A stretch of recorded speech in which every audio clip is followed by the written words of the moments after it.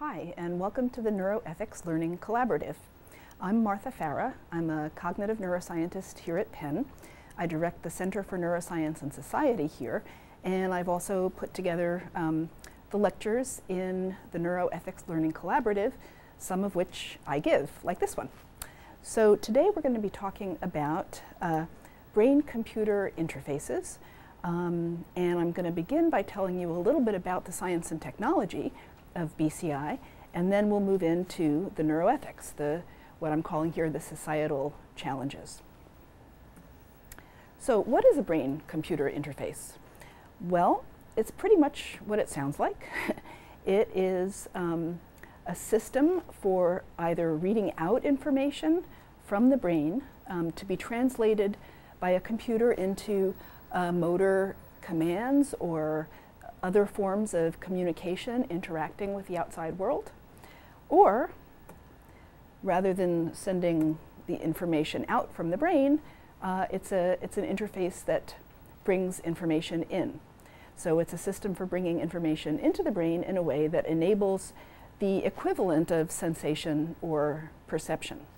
But what's key is you know, rather than the usual ways that we either reach out and act upon the world or um, receive information from the world, with uh, BCI, you have a, a, machine, a computer, interfacing directly with the brain. So you're not using your peripheral nervous system. You're not uh, um, launching the actions with your own muscles or getting the information in through your own retina or cochlea or um, whatever. So the ways in which that uh, interface is implemented um, can vary greatly.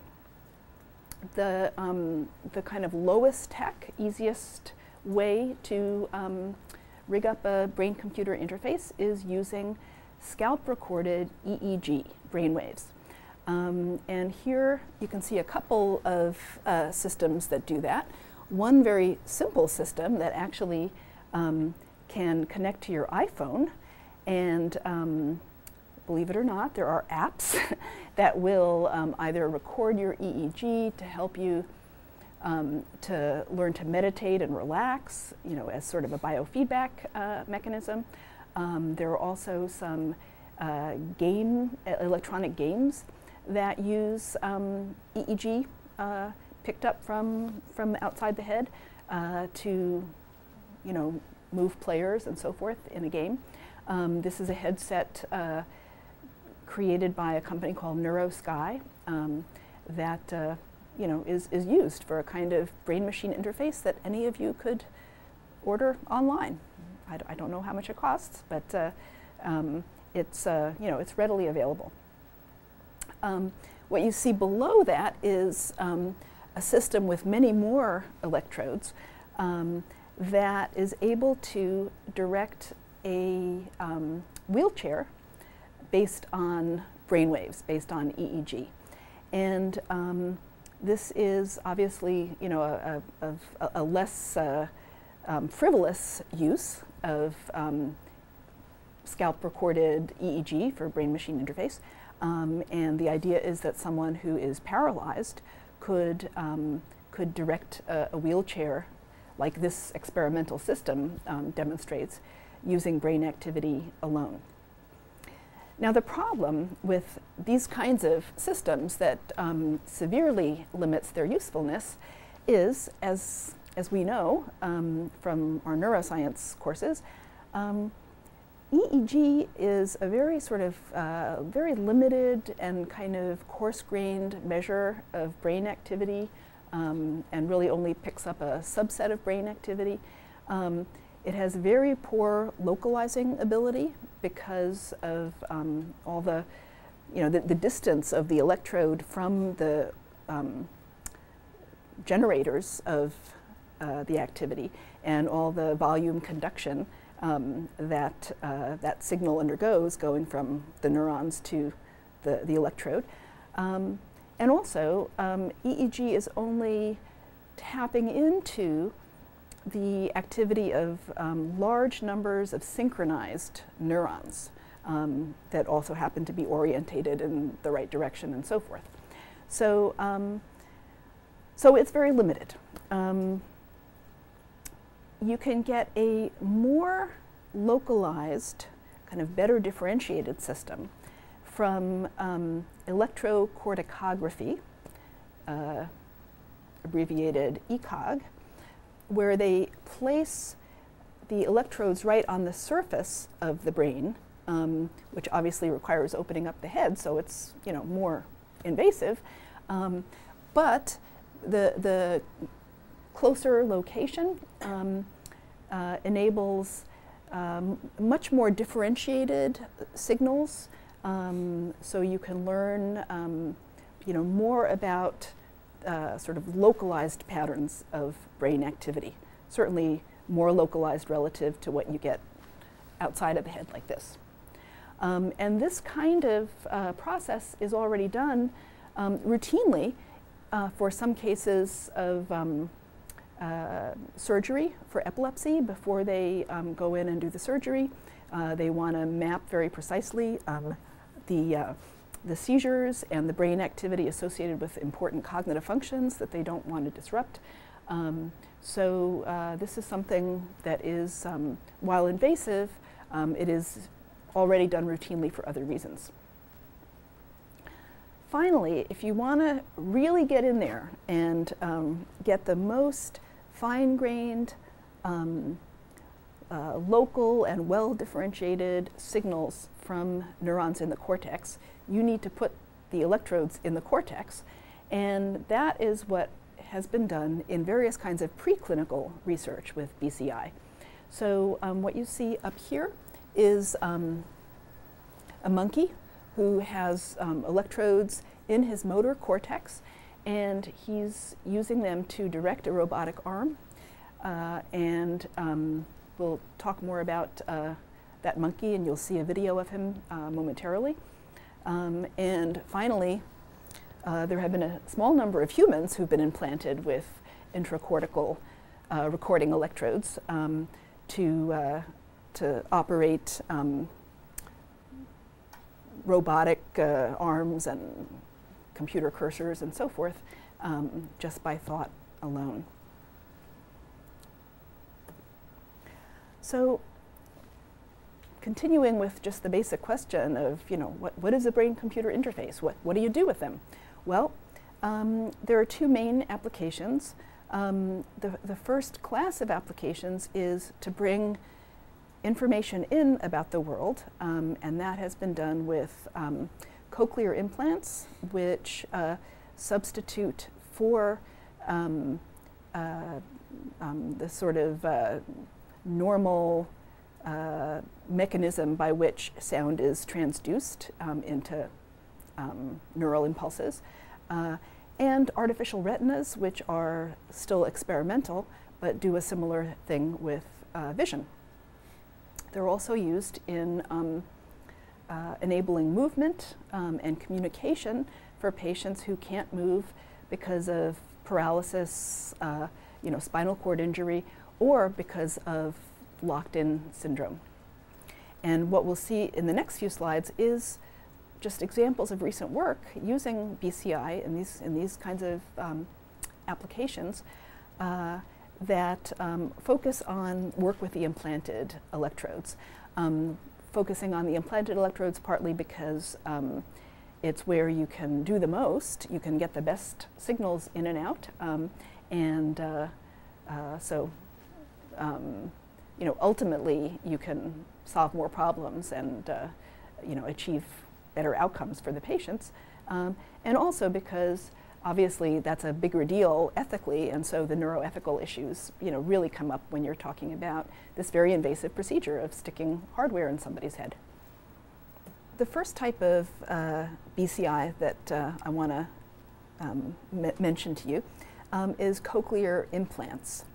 Um, these are actually in use now. In fact, um, as of spring of 2009, there were 188,000 people in the world um, with cochlear implants. Um, a cochlear implant uh, consists of a microphone and a signal processor, that's essentially the, the machine, the, the computer, um, that uh, interfaces via implanted electrodes with the auditory nerve. So this is a way to, um, you know, essentially restore hearing, not, not to normal levels, um, but good enough that you can um, understand speech, even listen to music. Um, this person here is Michael Chorost. He wrote um, a wonderful book about his own experience um, as the recipient of bilateral cochlear implants called Rebuilt How Becoming Part Computer Made Me More Human. And um, his hearing is good enough that the very first time I ever interacted with him, it was via a phone call. And I really had no idea what to expect if he was going to be able to understand me or not. And I never would have known that uh, I was talking to somebody with a hearing problem. So um, cochlear implants have been wonderfully successful. Um, in fact, successful enough that some within the deaf community fear that it is going to spell, you know, the end of deaf culture. Um, that uh, there will be no more uh, people who are deaf and therefore kind of uh, invested in ASL um, and all of the, the art and literature and culture that goes with it. Um, there are also BCIs for vision. Um, several different companies are developing uh, artificial retinas. Um, some of them, uh, most of them connect to the optic nerve in the eye, but some actually directly stimulate visual cortex. And although these are um, still experimental, they have certainly enabled people to have some degree of form vision, um, to actually see which way the big E on the vision chart is pointing, um, and so forth. For movement, um, the research is, uh, you know, mostly what's called preclinical. Um, that is, you know, work with animals to try to understand um, the, the, general approach that might work and be useful. Um, but uh, the research has been um, advancing quickly um, in the last 10 years. I can tell you some of the achievements. They've been quite impressive. Um, so uh, one, one of the really um, exciting developments that I think you know, made the daily newspapers, not, not just science journals, was um, work out of uh, Miguel Nicolelis's lab at Duke, where um, he had a setup like this, where he taught a monkey to um, move a cursor around on a screen using a joystick, meanwhile um, recording from electrodes implanted in the monkey's motor cortex. And um, unbeknownst to the monkey, um, his uh, actions were also being, um, or the, sorry, the brain activity corresponding to his actions were also being relayed to a robotic arm um, out of sight of the monkey. Um, and after a while, they, the researchers disconnected the joystick from the computer, okay, so that basically what was making the uh, cursor move around was the monkey's brain activity. Very interestingly, um, the, at least two monkeys that they tested this on, um, after a while figured out that they did not need to be using the joystick and just stopped, stopped touching it altogether and sat there just spontaneously um, moving, moving the cursor using their brain waves alone. Um, and of course, in addition to moving the cursor, they were also manipulating the robotic arm in a remote um, location. Um, another, oops, there's another um, study that I'm going to show you a video of where um, uh, Andrew Schwartz and his colleagues at Pittsburgh um, implanted a monkey in a very similar way, motor cortex. This time, they let the monkey see the robotic arm and um, get experience um, using it, driving it with their brain waves, and found that the monkey began to treat the arm very much as if it was, you know, one of his own appendages, and could use it to um, to feed itself treats. So let me go to this video. You'll see the monkey um, feeding himself with a robotic arm that he's controlling by his brainwaves.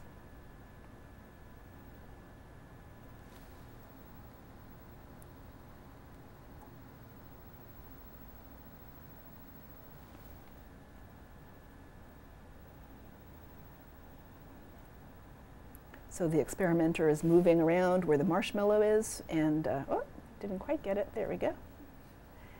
There's one point on this video where there's a little marshmallow goo left on the robotic hand, and the monkey licks it. I mean, it really uh, gives you the sense that this monkey has, you know, incorporated this robotic arm into his own uh, body schema, his own sense of self.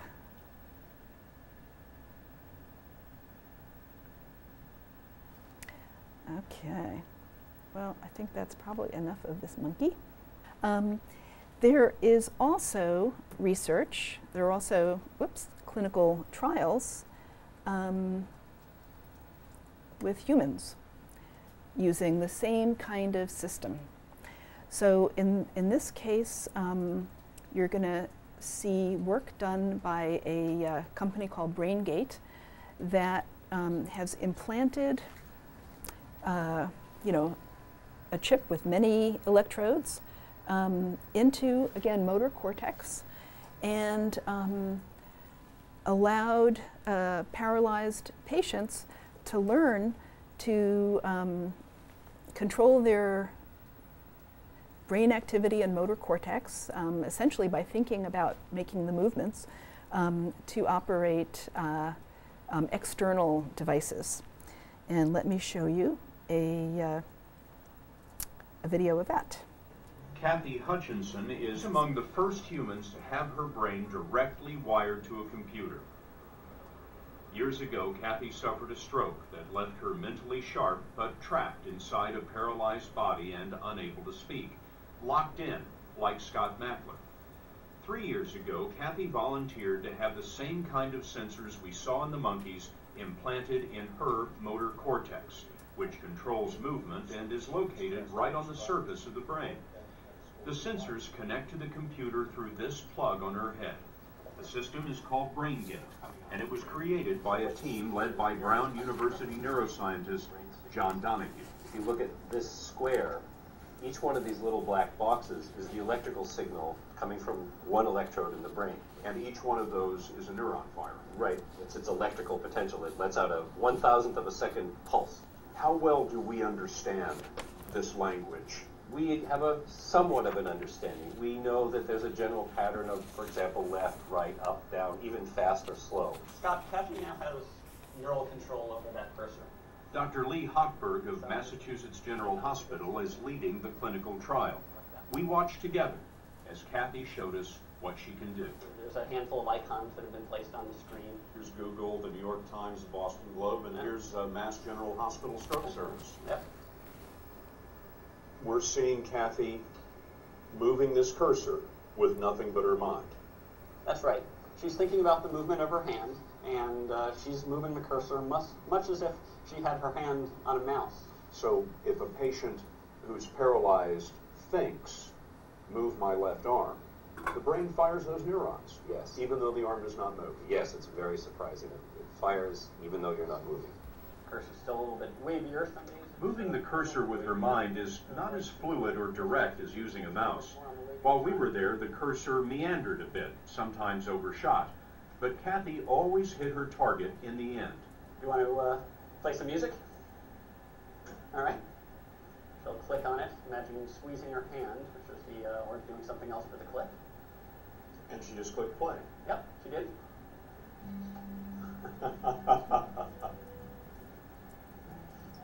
That's pretty amazing.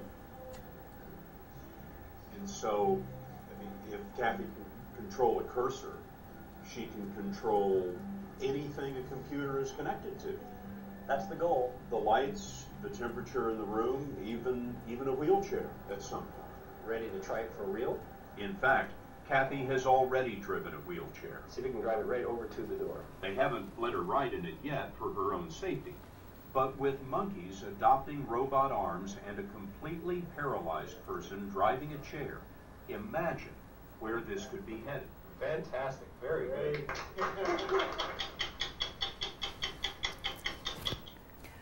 Okay, so clearly in the last uh, 10 years there's been tremendous progress um, in uh, interfacing brain activity to outside machinery. Um, what are some of the current um, remaining barriers to be overcome scientifically and technically? Well, you know, I should say I do not work in this area, but um, I attended a meeting last fall um, put on by the New York Academy of Sciences and the Aspen Brain Institute. There was kind of a summit meeting of all the leading researchers, including the people that have been mentioned so far, um, in brain machine interfaces. And one of the interesting things about this meeting is people were talking about, you know, what are the outstanding problems that need to be solved and what are some promising solutions um, that people are working on. And I would say that um, the two, uh, of the two biggies, the first is just maintaining the connection between the machinery and the brain. Um, the brain, like every other part of the body, reacts to um, having a foreign body uh, lodged in it. Um, there are all kinds of um, you know, immune responses, inflammation, scarring, and so forth that um, take what starts out as a, a good, useful contact and, um, and makes it, over time, uh, convey much less useful information. So um, people are trying all kinds of uh, you know end runs around this, all kinds of ways of solving the problem. You know the end runs, including um, uh, methods that don't involve um, electrodes at all, but um, involve uh, optical methods um, and uh, and chemical interfaces. Um, there are also attempts to design electrodes that will sort of encourage the the neuropil to just grow right into the electrode um, and, uh, you know, rather than um, sort of encapsulate it. Um, so much um, varied and, you know, interesting and very promising work um, along those lines. The other big challenge is just figuring out how to translate brain activity into um, you know, commands to the outside world, and or um, uh, design signals that can be put into the brain in a way that um, uh, is is useful, that the rest of the brain can make use out of. Um, and there's a lot of work going on here. This is, you know, really the stuff of much basic science research as well as, you know, research aimed at brain-machine interfaces. Um, in fact, um, one of the big, uh, you know, impetuses to, to start doing these um, motor systems um, was work of Georgopoulos, just you know basic science research, um, looking at population coding in uh, motor cortex, looking at the way um, information available from you know neurons sampled across you know electrode arrays um, uh, corresponded with the monkey's intention to move his eyes somewhere in space or reach somewhere in space. And um, so that, you know, that work goes on. It's, um, uh, it's of interest in its own right scientifically, and it's one of the things that has to be better understood um, to create, um, uh, you know, interfaces that, um, you know, enable people to do sort of more complex and highly differentiated things rather than just, you know, get a cursor to slowly drift to one side or the other. Um, so sort of bandwidth, being able to, you know, get that information out quickly and precision. So having given you a little um, summary of uh, state of the art in brain-machine interfaces, um, brain-computer interfaces, now I want to go to the neuroethics of the area. there are a tremendous variety of ethical, legal, and social issues, what we call the ELSIs, E-L-S-I, um, and uh, you know, very, very different in kind. You know, run, running the gamut from you know transhumanist cyborgs to um, uh, you know intellectual property problems. You know, how do you encourage innovation? Um, encourage uh, collaboration and so forth um, in terms of the financial stakes. Um, so what I want to do is try to subdivide these different issues um, to um, just kind of uh, lay them out a little more systematically and make them less like just this mountain of um, very heterogeneous issues. Um, I'm going to subdivide them in terms of time frame and uh, the the sort of boundary points between immediate, medium term, and long term are, you know, just my probably not terribly educated uh, guesses. Um, but I think um, it's, it's worth distinguishing between the immediate, the medium, and the long term challenges. And this is my, you know, best guess at uh, how that maps onto a calendar. Um, but you will see that um, the salt shakers are a reminder that this, you know, is pure conjecture. Um, so take the actual numbers there with a grain of salt. Um, but whether the numbers are, um, you know, optimistic, uh, it's going to actually take longer, pessimistic, it'll be here sooner. Um, However, the numbers are off, I do think that these issues um, do apply um, for each of these three categories. So let's start with the long-term issues. You know, these are the sort of big, you know, scary, sexy, depending on your, you know, perspective, um, issues of how humanity itself may be changed by merging with machines. Um, some people find this idea very scary um, and uh, think it should be stopped. Um, Francis Fukuyama, um, author of Our Posthuman Future, um, wrote a journal article um, a few years after Posthuman Future was published um, called, you know, Transhumanism, the world's most dangerous idea.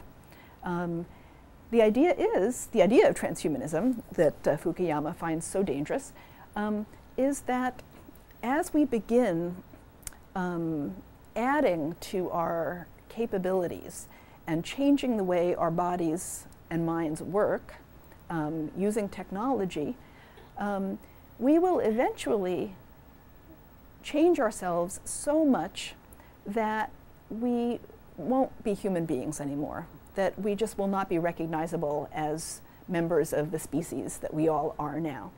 Um, and this is the idea of transhumanism, that we transcend um, the limitations of being a human being. Um, we could be, you know, smarter and have amazing memories and be able to perceive, you know, infrared and, you know, uh, on and on. It's kind of science fiction-like. But I want to say that there's really no reason that I have heard that suggests that we couldn't do it, or even that suggests that we wouldn't do it. Um, so, you know, it's, it's a long way off. Uh, in my little uh, timeline, I'm saying, you know, 30 or more years away. Um, but uh, it's, it's definitely already on people's minds, um, and some people think it's a terrible thing. Now, some people think it's a dandy thing, they think being a human being is all about self-improvement, um, uh, making over the world and even making over yourself uh, to better suit your aims and goals and desires.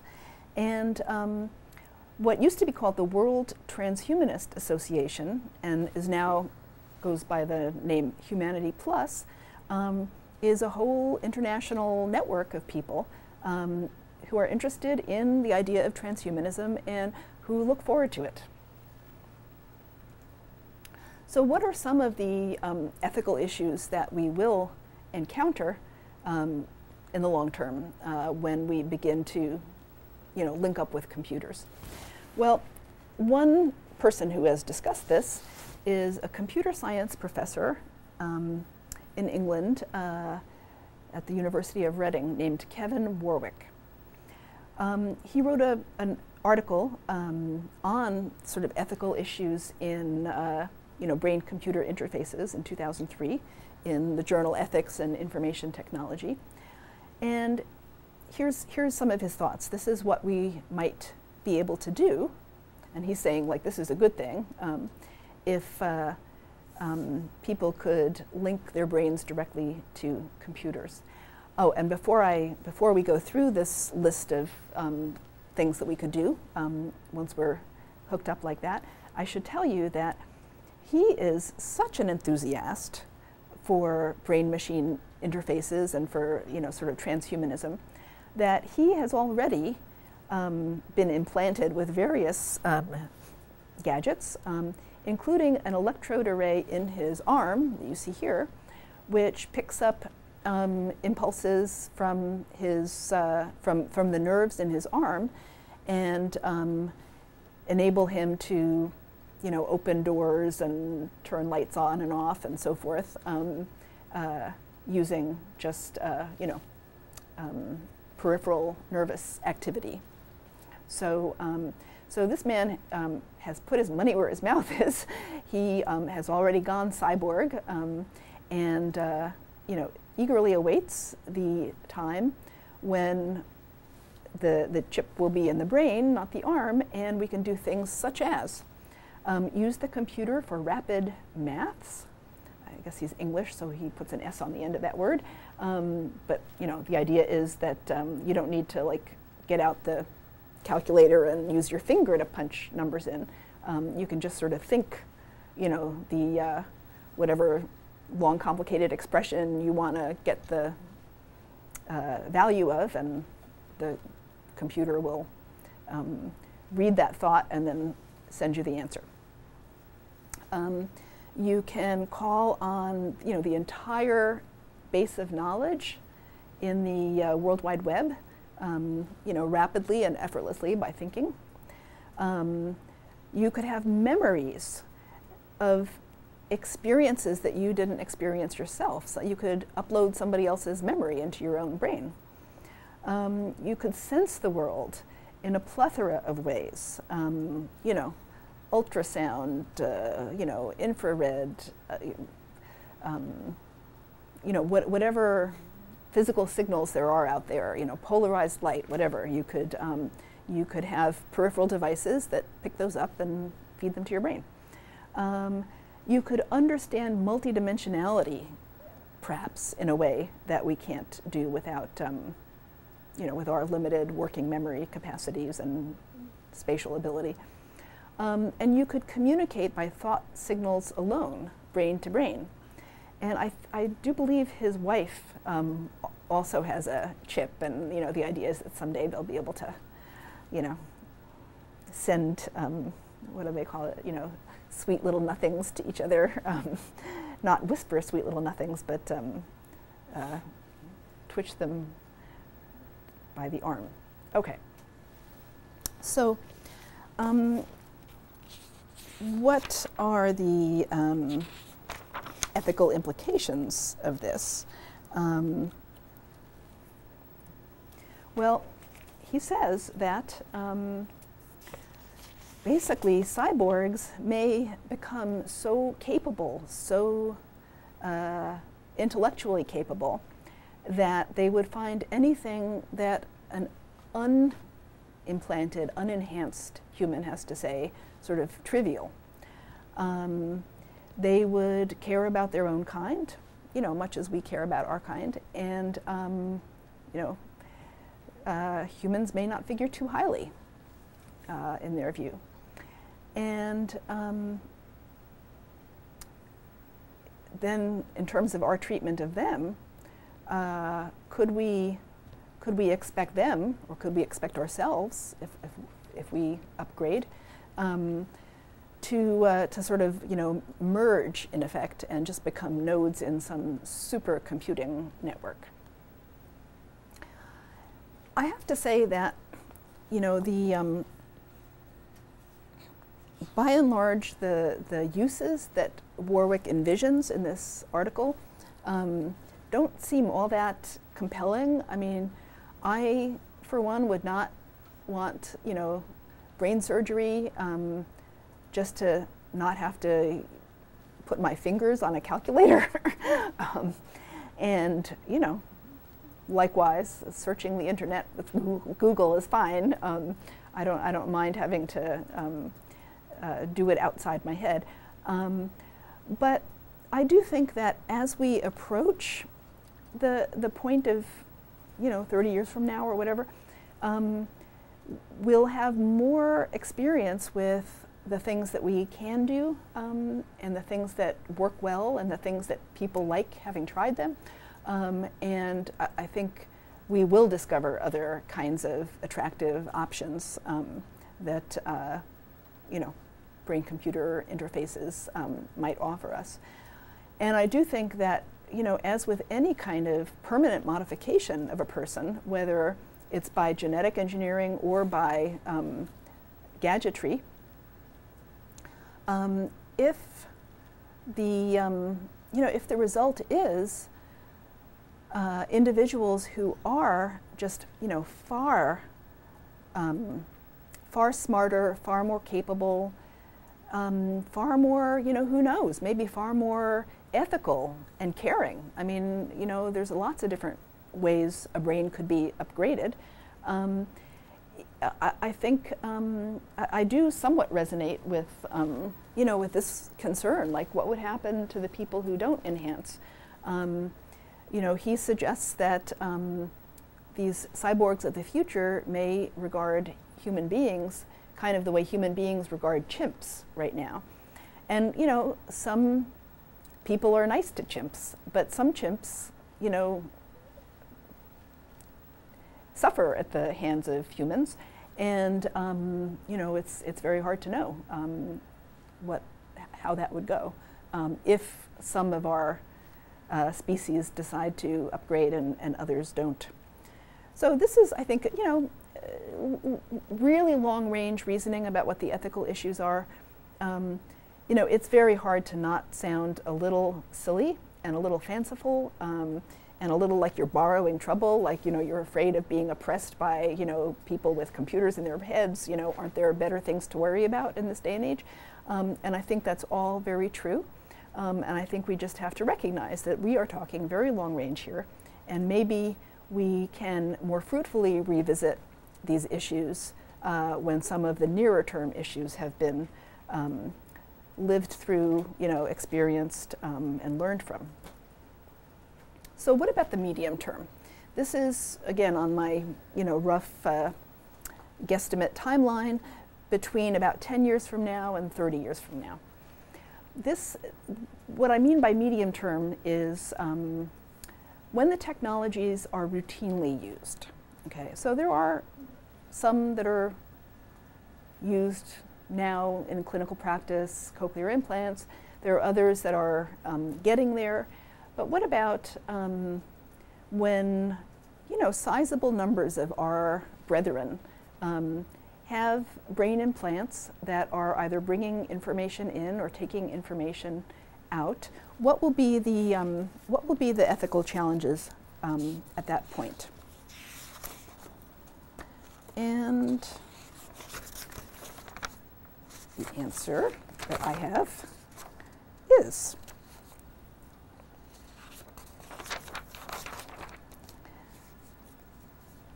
okay. One issue is going to be, you know, more of a traditional bioethical issue.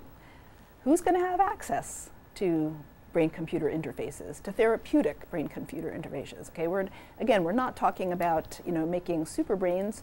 Um, we're talking about helping paralyzed people to move through the world. We're talking about helping blind people to see. Um, these are expensive technologies, and you know, of course, price comes down as volume goes up and all that. But you know, they um, they're expensive to implant and they require maintenance. It isn't just sort of pop it in and you're good to go. Um, so, you know, compared to the cost of other kinds of health care, you know, is this, um, you know, is this going to be viewed as something that, you know, your health plan should cover? Um, uh, you know, does, does, does the, um, does, is the expense justifiable um, for the help that it gives the individuals who are helped? Um, and, uh, you know, how, how, will, how will we manage that as a society, um, getting, uh, getting them to the people who need them? Uh, okay. Another ethical issue that I think will arise once you know, some of these systems are actually out there in clinical use is control, control of the inputs and the outputs. Um, how much control should patients have? Um, you know, now um, you can turn off your hearing aid if you're, you know, sick of hearing your old spouse yammer on, you know, or, um, uh, you know, you can, um, I, I don't know, you could, you know, but the, the, the question is um, should patients be able to, you know, very, um, uh, you know, the, the range of, um, uh, you know, sensory signals that they're getting, um, the kinds of, uh, the ways they want the output of uh, their motor system to be used, um, to what extent uh, will um, the medical establishment sort of say, yeah, this is something we're giving you. It's to enable you, and you know, you're in the driver's seat. You you make these decisions. Um, what about involuntary treatment? Um, you know, certainly for some psychiatric conditions um, that might uh, benefit from, um, uh, you know, uh, some sort of a stimulation protocol that might be initiated by a computer when certain patterns of brain activity are detected. Um, uh, you could imagine, um, uh, you know, involuntary treatment being imposed with BCIs the same way it's imposed with drugs for the safety of the person or society. Um, but unlike drugs that, you know, basically wash out of your system as soon as you stop taking them, you know, this is, this is major brain surgery that leaves, you know, a device in your head. Um, so, you know, in the medium term, again, a fairly straightforward bioethical issue, but one that will, I think, arise once, um, once we have uh, um, BCIs in common use. Um, finally, concerning control of inputs and outputs, um, what to do about hackers. So, you know, people already, you know, for, for motivations that are, you know, un unclear to me, you know, write computer viruses and send them around the world, um, infecting people's computers, their cell phones. Um, we have people who, you know, for, you know, to, to, to steal money or to just, just out of curiosity, you know, hack into secure systems of banks or the Pentagon or whatever. Um, what if one of these hackers wants to hack into your brain, right? Um, I mean, there are there are issues, um, not you know, not insurmountable issues. Like all of these issues, it's just, you know, there are precedents. We have dealt with um, analogous kinds of problems before, but those problems I think will have to be addressed here um, because uh, you really don't want you know, hackers hacking into your brain.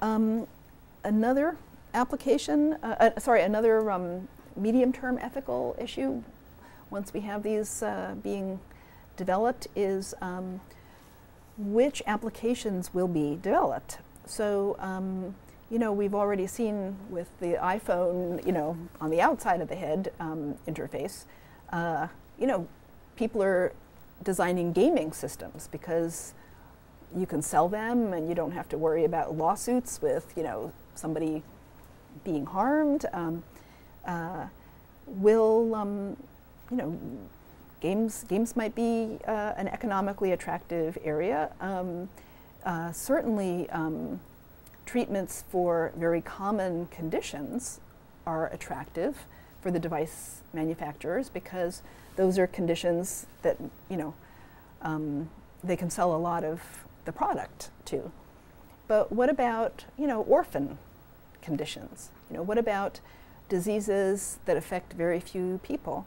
What about um, diseases that affect you know mainly poor people, third world people, um, where they aren't going to be able to sell much? Are we going to um, uh, are we going to ignore those needs? Again, you know, nothing stunningly novel, but I think um, these are the things that will arise with BCI once, um, once it becomes established as a treatment modality. Um, and finally, um, you know, what I'm referring to as the yuck factor.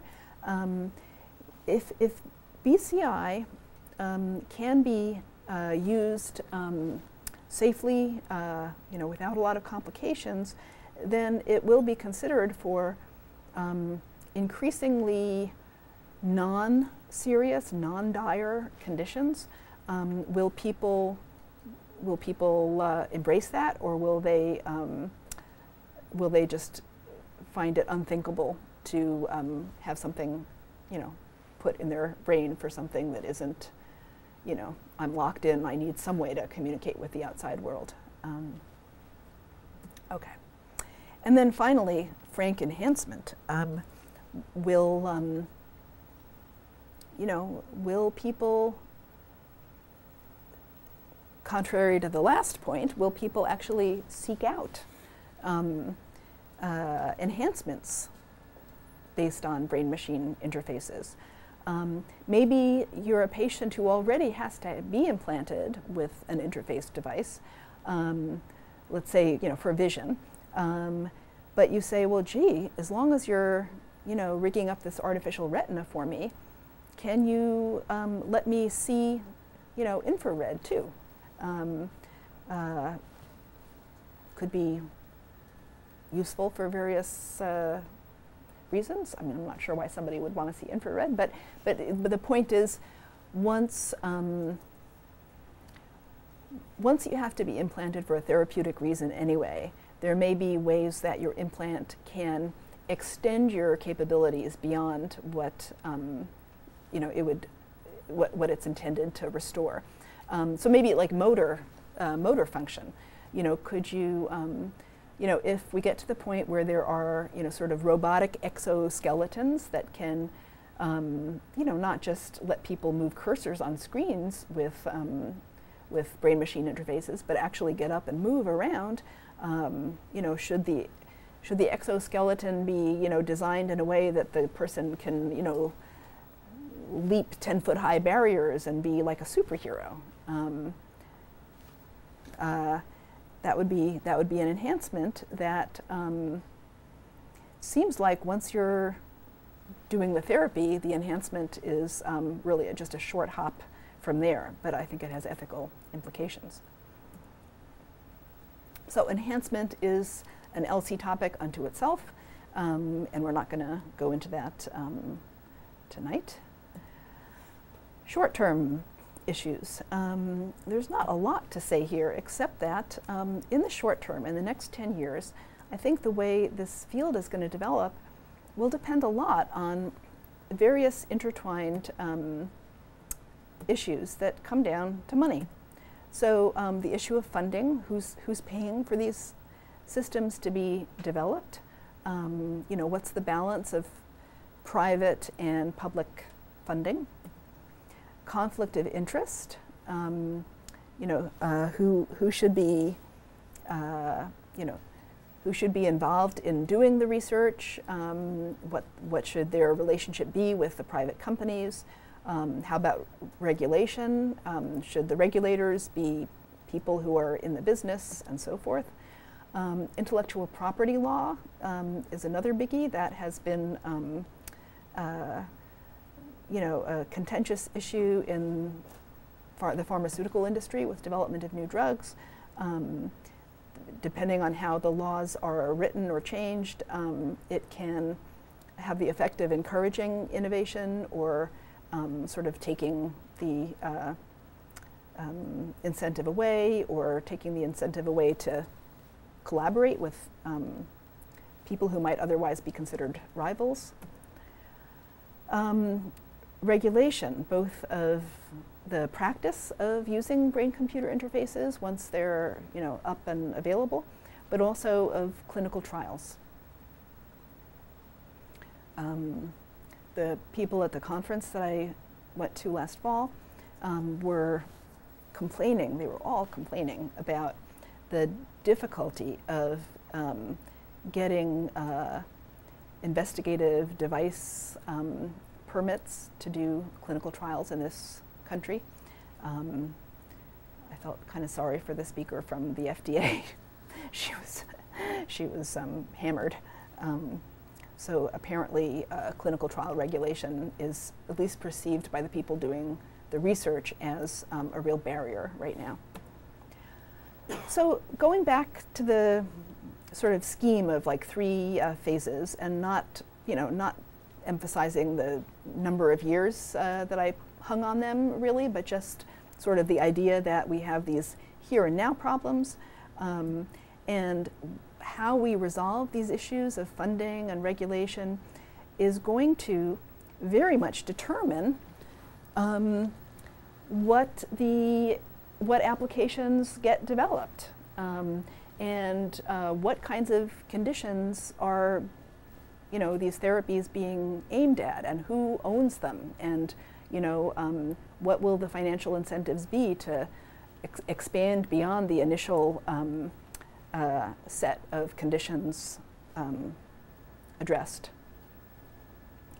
Um, once we get to this phase and begin to deal with these ethical challenges, we will be, you know, in effect, living among people who have brain chips, have, have uh, you know, computers interfaced to their brains. And we will know so much more than we do now about how people think about these things, how, how it plays out economically in terms of people's individual lives. Um, and I think from that platform, um, we will have a much better sense of, you know, long term, um, you know, are people going to be connecting to the internet? Are they going to be, as Warwick said, you know, sort of merging into one big mind melded, you know, web of humanity? Um, will they want to stay individual and so forth? Um, right now, it's nothing but, you know, pure speculation that we can apply to thinking about these things. But once we've spent some time living, you know, in this kind of a world, um, I think we'll have a much better sense of, of where the where the concerns are and um, where the you know wonderful opportunities are. So that will, from from a sort of platform of living with various kinds of brain machine interfaces for perception and motor control, um, we'll have a much better sense of you know, uh, how, how that might be parlayed into the longer term future. And speaking of sort of step by step going into the longer term future, I, I just want to leave you with this last um, slide, cartoon, Gahan Wilson. Um, and I'll read it aloud in case um, it's not uh, visible here on the screen. The, uh, the caveman is saying to the modern Homo sapiens, um, I was wondering when you'd notice there's lots more steps. So, thanks.